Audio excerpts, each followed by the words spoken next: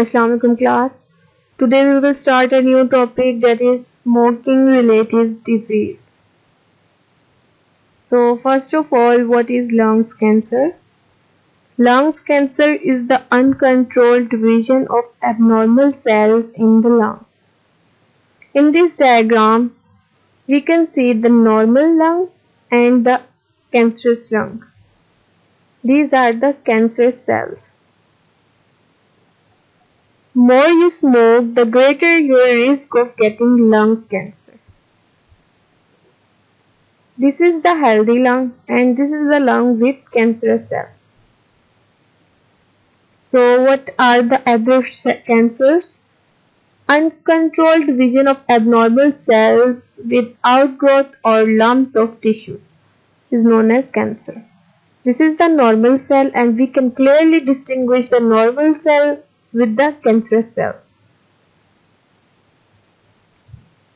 Smoking increases risk of cancers of mouth, throat, pancreas, kidneys and urinary bladder. Our next topic is chronic bronchitis. Is the epithelium lining of air passage to lungs become inflamed and narrowed. Excessive mucus is produced.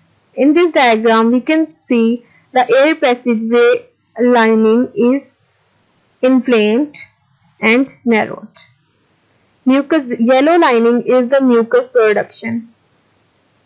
So, if the mucus production is increased, this blocks the air passage and the person feel difficulty in breathing.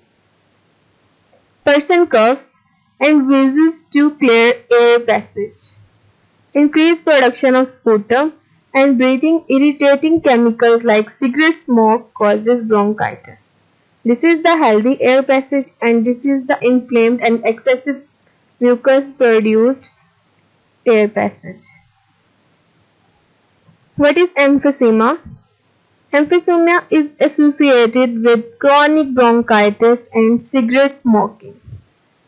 In, the, in emphysema, Partitioning walls between alveoli breaks down because of coughing.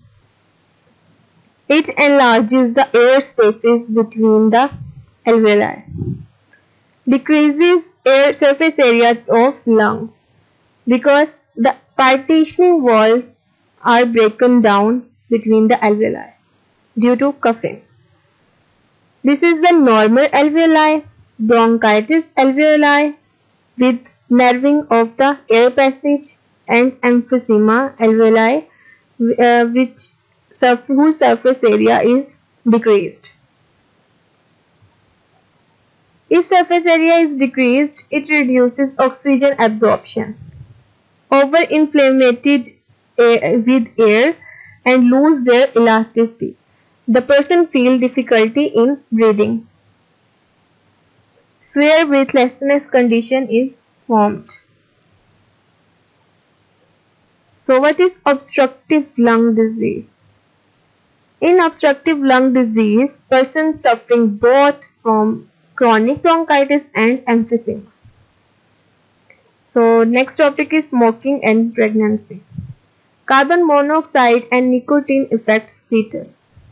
Carboxyhemoglobin formed in mother's RBCs Carboxyhemoglobin reduces the oxygen carrying capacity of hemoglobin. If the oxygen carrying capacity of hemoglobin is reduced, it reduces the amount of oxygen reaches fetus through placenta.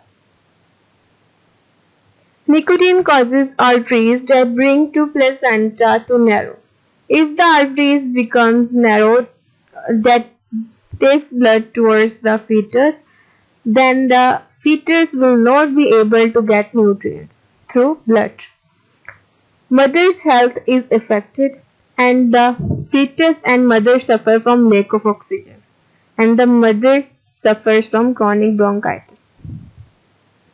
Mothers risk their babies who continue to smoke.